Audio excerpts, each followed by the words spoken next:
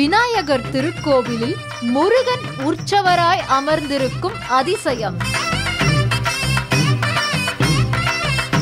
பக்தர்களுக்கு வேண்டும் வரம் நல்கும் பேராவூரணி ஏந்தல் ஸ்ரீ நீலகண்ட பிள்ளையார் ஆலய தரிசனம்.